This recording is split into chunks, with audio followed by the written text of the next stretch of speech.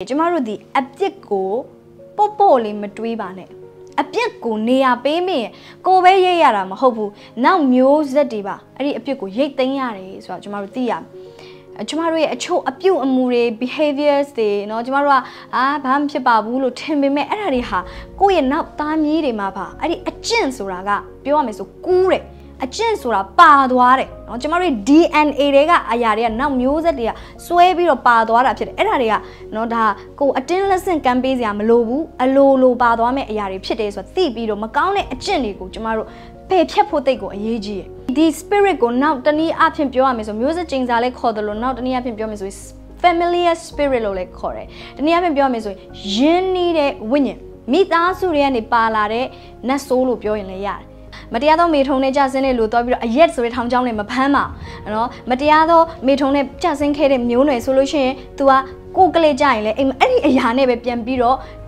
ဆွေးချဖို့ရန်အတွက်စူးစမ်းတာဖြစ်တယ်အဲ့ဒီအတွက်ပို့ပြီး tendency ကပိုများတယ်ပို့ပြီးတော့အဲ့ဒါကိုတွန်းအားပေးတဲ့အရာတွေအဲ့ဒီအရာကိုဖြစ်စေမဲ့သွေးဆောင်မှုတွေကို तू ကပို့ပြီးတော့လုပ်တယ်ဘာဖြစ်လို့လဲဆိုတော့ तू သိလို့ပြောမယ်ဆိုသင်အကြောင်းကို तू ကောင်းကောင်းသိတယ်သင်ရဲ့ DNA ကို तू သိတယ်သင်ရဲ့မိသားစုရဲ့အတိတ်အကြောင်းကို तू သိတဲ့အတွက်ကြောင့်ဖြစ်တယ် ရင်းနှီးတဲ့ဝိညာဉ်လို့ပြောတဲ့အခါမှာသူဟာကောင်းတဲ့ဝိညာဉ်တော့မဟုတ်ပါဘူးတကယ်ဖြက်စီးတတ်တဲ့ဝိညာဉ်မျိုးဖြစ်တယ်အဲ့တော့ဒီဝိညာဉ်တွေဟာကျမတို့နော်ကြိုက်သည်ဖြစ်စေမကြိုက်သည်ဖြစ်စေသူတို့ဟာဘိုးဘေးတွေရဲ့အပြစ်ကြောင့်မို့လို့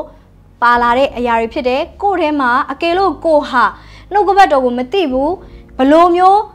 ကိုယ့်ရဲ့အသက်တာမှာဒီဝိညာဉ်တွေကိုစီးတားရမလဲမသိဘူးပညာမဲ့စွာအသက်ရှင်မယ်ဆိုရင်တော့ဒီဝိညာဉ်တွေဟာကျမတို့အသက်တာထဲမှာအလုံးလုံးလို့ရနေပါဦးမှာဖြစ်တယ်သိပ္ပံပညာကတော့မှဒါကိုနားလေတယ်သိပ္ပံပညာမှာဥပမာဆိုပါစို့ဆရာဝန်တွေကိုတော့တွေ့တယ်ဆိုရင်ဆရာဝန်တွေကအရင်ဆုံးမေးတယ်မေးခွန်းဘာလဲ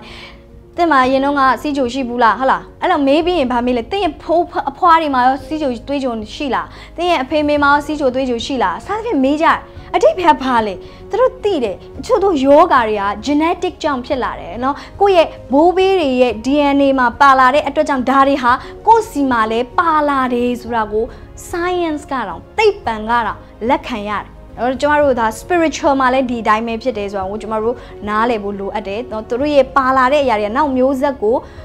lesson အတင်းကမ်းပေးစရာမလိုဘဲနဲ့ပါဝပါလာတာဖြစ်တယ်။အပြစ်က consequences ဆိုတဲ့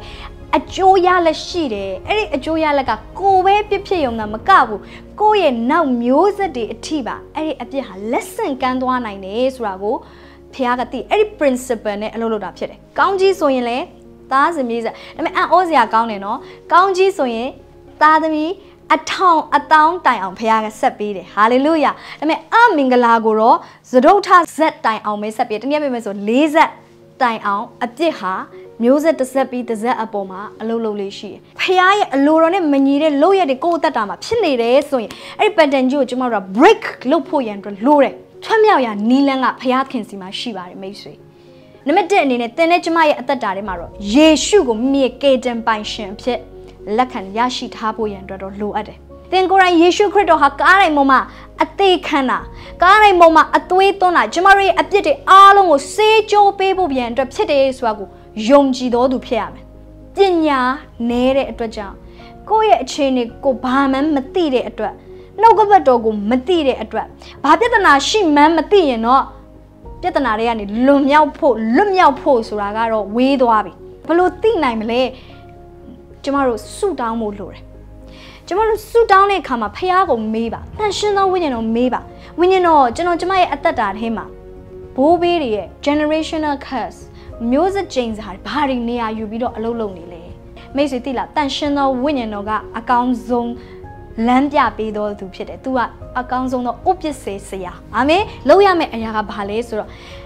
အပြစ်တွေရှိခဲ့တယ်ဆိုရင်ဝင်ချတောင်းပန်ဖို့လိုတယ်။ကျမတို့ဒီကိုကိုတိုင်းကအပြစ်ကိုယွင်ရှာဖို့လိုတယ်။ကိုကိုတိုင်းကအပြစ်ကိုအပြစ်လိုမြင်ဖို့လိုတယ်။မလို့ချင်တော့ဘူးဆိုတဲ့နှလုံးသားရှိဖို့လိုတယ်။အပြစ်နဲ့ပတ်သက်ပြီးတော့နောင်တရတဲ့နှလုံးသားဖခင်ရဲ့ရှင်းမောက်မှာဝင်ချတောင်းပန်တဲ့နှလုံးသားမျိုးတော့ရှိဖို့ရန်အတွက်လိုတယ်။အဲ့တော့ဘာလုပ်ရမလဲ။ကျမတို့အပြစ်ကို နောင်တရပါသင် no လို့ပြောရင်ဘေးဘေးလောက်ပဲ curse ကသင်ကိုဖိအားပေးပေးသင်မလုပ်လို့ရတယ်ကျမတို့ကိုယ်တိုင်က yes လုပ်ခဲ့လို့ဒါ